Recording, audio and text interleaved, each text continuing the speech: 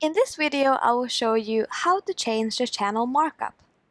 Markup or scaling is a Rentals United feature that allows you to increase your base price per channel. This can help adjust your price to compensate for the channel commissions. You will be prompted to select the markup when you go through the channel connection steps, but you can also adjust this after the channel is connected. Go to Services,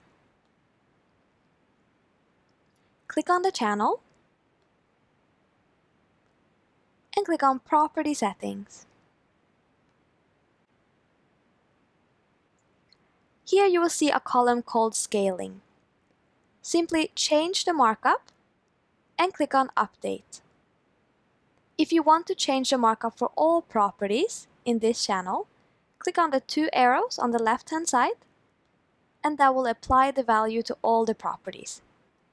Click on Update All to save the changes. For some channels, you may come across a slightly different layout in property settings.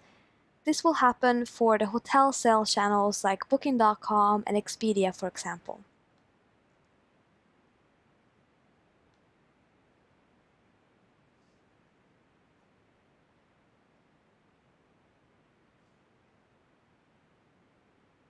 You can see it looks a little bit different, so in order to change the scaling or markup, click on Edit,